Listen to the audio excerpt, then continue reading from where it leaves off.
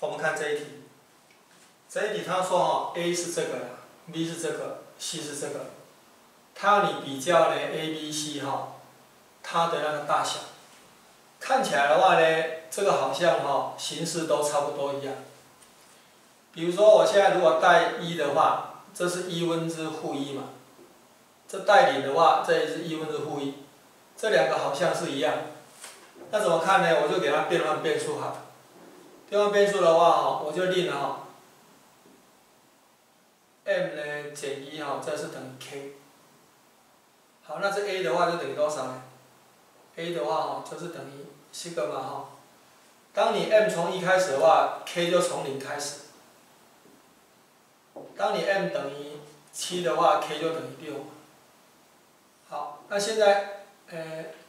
m 多是等于 k 加一，哦，带 k 加一，二 k 加一嘛，减一，是 k 加一，啊减二啊，这个等于多少？等于 k 等于零到六，展开来要 k 二 k 加二减一就是二 k 加一，k 加一减二就是 k 减一，跟这个是完全一样的。所以这个跟 B 是一样的。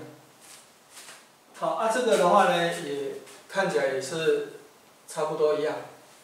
这个的话，我就把哎 k 减三啊，我令它是等于 m 好了。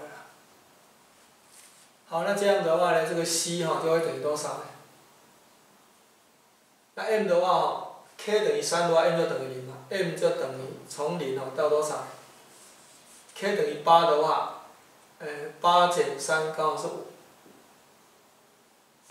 呃，哦，它就是 i 等于三。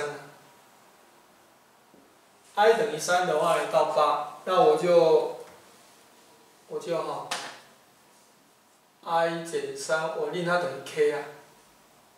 好，令它等于 k 的话，那 c 的话就等于多少？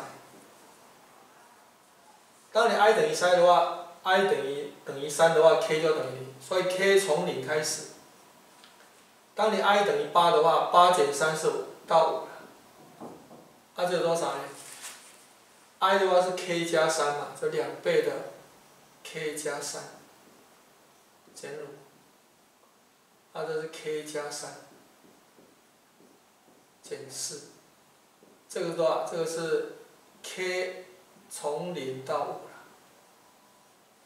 那这个多少？这个是二 k 加六减五，就是二 k 加一。K 加三减四就是 k 减一啊。哎，这个的话跟这一样，不过它比它少一项。它比它少一项的话，我们看那个最后那一项，k 等于六的话哦，是十二加一嘛。六的话，六减一是五，是三分之五。也就最后那一项是正的，啊，它比它多一项，代表它比它大。也就是说啊，a 等于 b，还要大于 c 啊，